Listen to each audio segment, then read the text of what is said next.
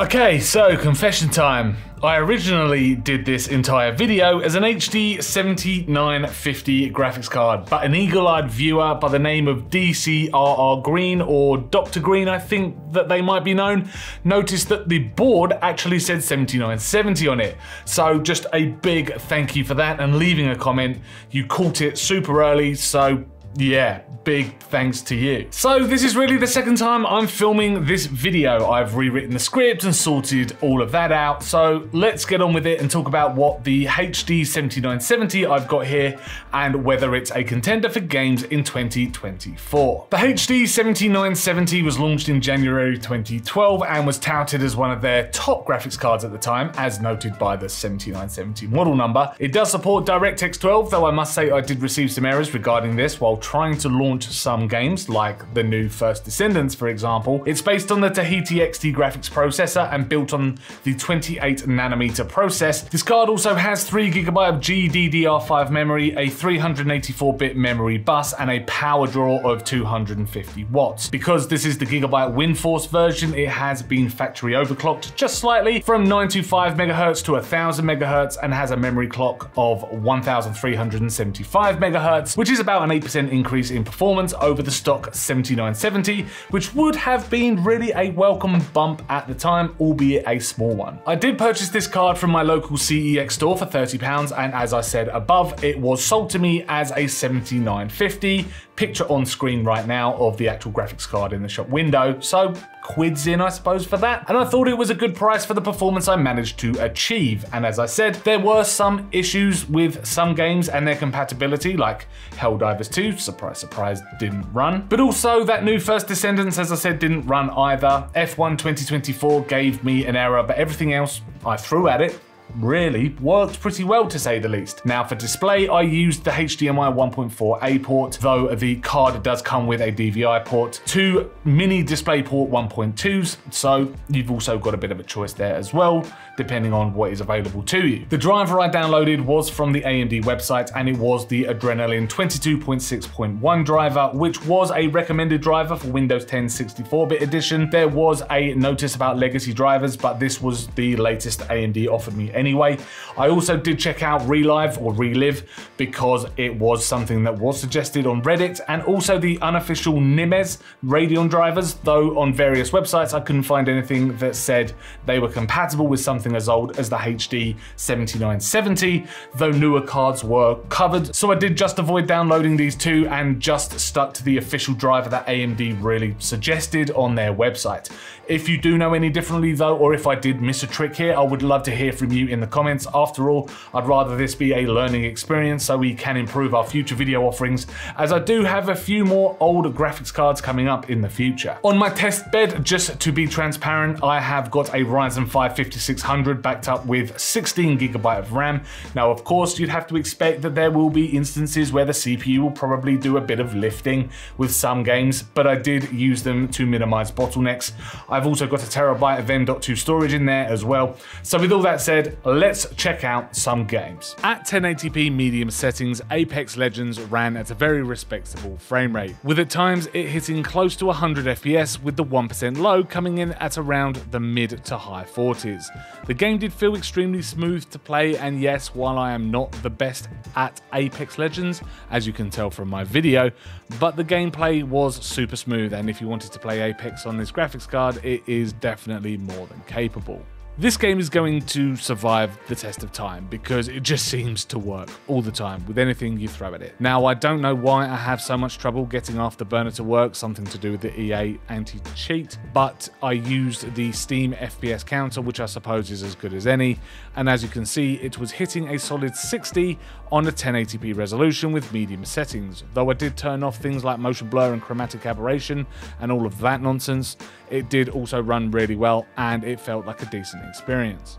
On medium settings at 1080p, Counter-Strike 2, no surprise, ran very well and gave me close to 70 to 80 frames per second. It did drop back down to the 50s and 60s when things like smoke and fire hit the screen, but it was hardly noticeable for me anyway, and I was only playing against bots because again, I am proper rubbish at competitive games, but it still ran very smoothly and it did look nice and sharp.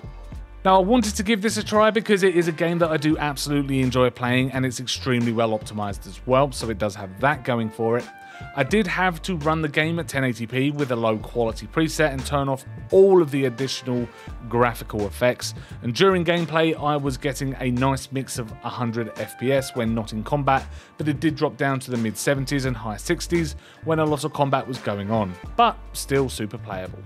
Fallout 4 did an auto detect for me when I launched it for the first time, and it chose a 1080p resolution at a high quality preset, which seemed a little surprising, but getting close to 60 FPS with dips into the mid 40s during intense combat was enough for me to feel comfortable playing the game. Also, ignore me trying to fight these botflies and ghouls, I am running out of ammo very very quickly on my save file, and I did have a bit of a nightmare with a spawn, and the only weapon I do have to use is a pair of concrete fists. Now this will be a quick one because I ran the Far Cry 6 built-in benchmark because I installed it for the first time and it made me start a new game and it did give me a 720p resolution with a low graphical quality preset. An average of 56 FPS would be a decent enough frame rate to play the game though I must say I don't have any real experience of this game. It was installed on the system and I just ran with the benchmark. Fortnite for me was a mixed bag with the 7950. The lobbies and drop were really ropey and it took a bit of time to calm down a little and settle when landing on the ground. But when I was in the actual game, having a run around and collecting all of my loot and eventually getting into a bit of combat, I was hitting above that 60 FPS mark, and I am all about that. Now I thought I'd give this a try. I played at 1080p at the original graphic settings as it's called in this game, and I was actually surprised at just how stable it was. Sure, I wasn't getting anywhere near the 60 FPS mark that everyone strives for, and I would suggest dropping your graphics down if that is your aim to something like 720p and drop those graphical presets down. But for a consistent 30 FPS with a 1% low of around 25 and the mid 20s, I thought it was an absolutely playable experience, especially during the boss fight I was doing that you can see on screen now. And it did look really nice considering this is an 11 year old or so graphics card. Now, Grounded is probably my favourite survival game out there and is definitely worth a play if you get the chance. On a graphics card like this, though, it didn't do great at 1080p medium settings. It was a bit choppy and at times it did hit the low 20s. If combat got busy, it wouldn't probably have been playable, especially in somewhere like the Ant Hill or Termite Hills. Get the graphics dropped down to 720p and achieve a bit more frames. Now what can I say? It ran beautifully and was hitting a mid 80s frame rate and looked great and played nice and smooth at 1080p with a medium graphics setting. It hit a very nice consistent 80s and above frame rate and at times peaking the mid hundreds, so very impressed with the Blizzard shooter. Okay, so I'm not really a fan of this game because I am absolutely terrible at it, but I will say it did run very well on the 7950. It wasn't quite hitting that 60 FPS consistently, but the late 50s was nice enough. Just don't judge me on my gameplay here, as I am not at all made for quick sprint shooters like this. I played on the Zoo map, which seemed pretty bright and detailed, and for sure there were no problems at all. So the question is, is the Radeon HD 7970 a capable card for 2024? Well, for sure, if you're an esports player, or if you are still wrapped up in games from the last few years and you're not really ready to jump to 1440p or 4K displays, or even if you're in need of a second or spare graphics card, then this could be definitely something to keep in mind. It's incompatible with newer games now, and driver support, although I did find one compatible with the card on the AMD website, it won't last forever. So do keep that in mind as well. But for £30, it is so surprising to see what this card is capable of. Thank you very much for checking out this video of the HD 7970. If you did enjoy this video, please hit that like button, subscribe to keep up with our latest tech and gaming videos, and also let us know in the comments down below, have you still got one of these cards in your system, or are you looking at, I don't know, building a basic entry-level gaming PC? And you're interested in this card, let us know in the comments down below. As I say, thanks very much for watching, and we will see you in the next video.